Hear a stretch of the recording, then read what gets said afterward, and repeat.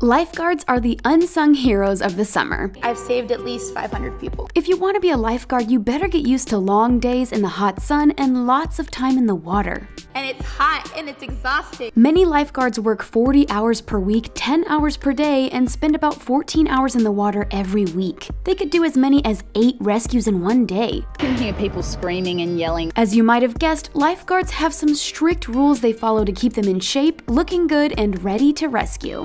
First time you save a life will mark you for the rest of your life. Intense training and focus required. It may look like lifeguards have cush jobs hanging out at the beach or by the pool all day, but it's actually pretty grueling. First, every lifeguard is required to undergo at least 100 hours of intensive training in order to work at the beaches and swimming pools. While it may vary from pool to beach, here are the requirements to be a lifeguard for continental pools just to give you an idea of specifics. Lifeguards must be at least 15 years old. They must do the breaststroke or freestyle swim for 100 100 yards without resting. Candidates must also be able to do a feet-first surface dive, retrieve a 10-pound brick from the bottom of a minimum 8-foot deep pool, and bring it to the surface and they have to tread water for one minute without using their arms. Once they qualify to work as a lifeguard, they have to adhere to strict rules. They are not allowed to carry on casual conversations with pool guests while at their posts. One lingering conversation could mean a serious drowning. They're not allowed to be on their phones either. Anything that takes their focus away from the water is strictly prohibited. It's such an exhausting job, the Red Cross recommends that they take 5 to 10 minute breaks every hour to reset their mind so they can stay vigilant about water safety and keep their focus on the swimmers.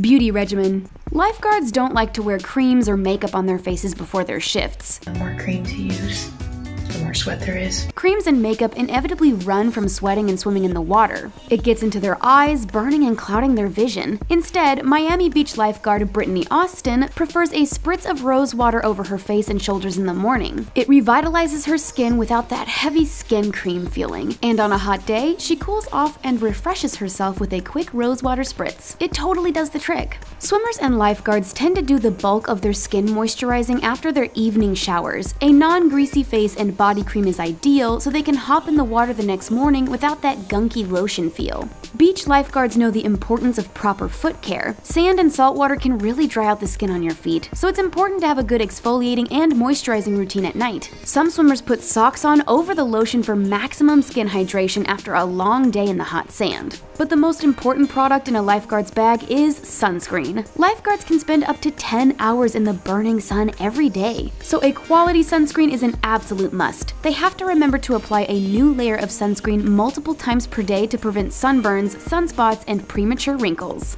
No bling on the beach. Beach lifeguards know that wearing jewelry at work is a total rookie mistake. The ocean and sand are cunning jewel thieves. They make short work of snatching rings and bracelets right off of you without you even noticing until it's too late. So lifeguards wear their engagement rings after their shifts are over and on their days off. That is the only way they can be sure they'll hang on to them. Otherwise, that gorgeous diamond ring could wind up on the bottom of the sea like that necklace in Titanic. Vaseline is a female lifeguard's best friend. There's a secret hack that makes being a female lifeguard a lot easier. If you don't have a thigh gap, which most lifeguards don't, it's important to put Vaseline on the thighs to prevent chafing. Vaseline is a lifesaver. They also use Vaseline on any swimsuit line to keep the suit from chafing the skin, and also under the arms for when the rash guards rub the wrong way. Vaseline is good for protecting small cuts or any wound that burns in the saltwater too. Look in any lifeguard's gear bag and you'll likely see this essential item. Hydrate like the camels do. You know the myth about camels being able to store water in their humps? Well, it originated from the fact that camels drink a ton of water, and lifeguards do too. Brittany Austin shared that she drinks a full thermos of water before she even gets out of bed. Since she is working in the hot Florida sunshine all day, she needs to stay hydrated. So Brittany brings a big gallon jug of water to drink during her shift. By the end of the day, she has finished the whole gallon jug of water, proving that lifeguards really do drink like camels. To really enhance their hydration, lifeguards will add electrolyte packets to their waters. Thirsty anyone? Work out and stay fit. Some lifeguards work out on the tower during their lunch break to stay in shape and able to be at their best for rescues. Swimming out to sea to rescue someone requires a lot of strength and stamina. If you're stuck out in the ocean, you're gonna want a lifeguard who can go the distance to rescue you. So lifeguards will do practice drills, running, strength training, and of course, lots and lots of swimming. A regular exercise routine gives lifeguards the endurance they need for the job. The right swimsuit is key. Most people go to work wearing pants, shoes, and a shirt, but not lifeguards. They go to work in bare feet or flip-flops. They don't wear pants or nice shirts. Their uniform is a trusty swimsuit that stays put in any emergency situation. Many female lifeguards swear by Jolyn swimsuits. They make sturdy suits for active people. These suits stay in place so there are no embarrassing exposures in the water. They cover up the important body parts so that water safety can be a lifeguard's top focus over wardrobe malfunctions. Crank up that sun protection. No one wants to leave the pool or beach looking like a boiled lobster. That's why, for a lifeguard, extra sun protection that goes beyond sunscreen is essential. UV protective clothing, hats, tights, and handkerchiefs for the face and neck are crucial additions to a lifeguard swimsuit attire. And one thing a lifeguard never leaves home without is a good pair of sunglasses. They have to wear shades that are super polarized to cut down on the glare of the water. Without their sunglasses, they would not be able to see a potential drowning victim as easily. Proper eye protection also allows lifeguards to see the sandbar, the contours of the ocean floor, and the rip currents. This helps them warn the swimmers of dangerous areas in the water. Rinse and repeat.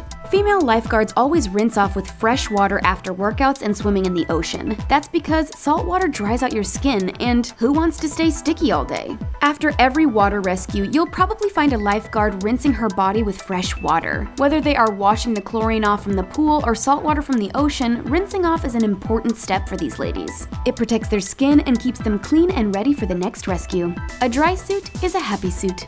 Ask any female lifeguard and they will tell you how important it is to change into a dry swimsuit after being in the water. It is not good for feminine health to sit around all day in a wet swimsuit. Some lifeguards will change their suits two or three times a day to make sure they stay dry in all the right places. No wonder Brittany has so many swimsuits in her drawer. Be like the Boy Scouts.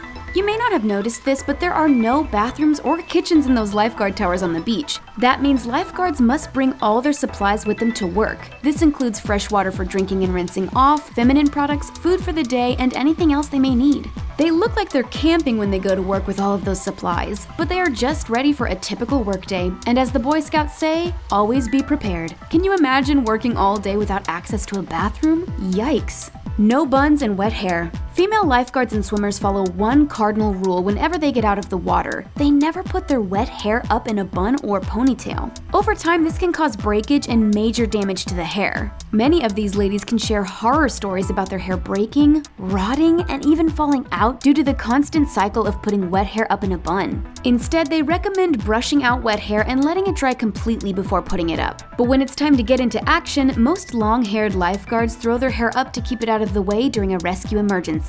No full bellies on the beach. Any lifeguard can tell you that it's a really bad idea to eat big meals while on duty. If they are too full from a big meal, they could wind up losing their lunch in the water during a vigorous rescue mission. So they prefer to eat several small meals throughout the day. This keeps their energy up and eliminates that after lunch fog. With this selective snacking plan, they can stay alert and ready to jump into action. Lifeguards rely on food staples such as fruit, trail mix, protein smoothies, and yummy chia seed pudding to sustain them through their workdays. Emergency medical training is a must must. Lifeguards are first responders. They get a lot of cases of heat exhaustion on the beach as well as near drownings and water injuries. That's why all lifeguards must be certified in first aid and CPR. They are trained to recognize heat exhaustion on land as well as swimmers in distress in the water. Treat yourself to an ice bath. Some lifeguards insist on taking ice baths when it's really hot outside to cool them down and keep them alert. Brittany has a pretty chill system of cooling down her body inside a large trash can filled with ice water. She stays in there for about 8 minutes for maximum revitalization. That's one way to cool off. Flag system. Beach lifeguards have a national flag system that helps them protect people and prevent them from going in the water when it's not safe. The flags are the same colors as a stoplight green, yellow, and red. Green means low hazard and it's safe to swim in the ocean. Yellow means moderate hazard. Red means high hazard. When the red flag is flying, lifeguards know to close the beach down and keep people out of the water. Reasons for red flags include lightning, hurricane surf, or bacteria in the water. If you see a purple flag, that's an indicator of marine life nearby. Moon jellyfish love swimming near Miami beaches in the summertime. In the cooler months, lifeguards look out for a scary creature called the Portuguese man-o-war. That thing is the stuff of nightmares. Prevention is key. If you've been to a public pool or beach, you've likely seen lifeguards standing at the edge of the water, whistling and yelling out to the swimmers. That's because a big part of their job is prevention. They are trained to spot dangerous riptides and stinging sea life. It's their responsibility to warn the people in the water to stay away from the danger zones in the ocean. Likewise, pool lifeguards are tasked with policing the deck as well as the pool. They may have to scold you if you run on the wet pool deck or play too rough in the water. But don't take it personally, it's part of their jobs in order to keep everyone safe. What do you think about the rules that lifeguards have to follow? Did you hear any tips that you'll take with you to the beach? Let us know in the comments section below. Be sure to like this video and subscribe to our channel, and thanks for stopping by TheTalko.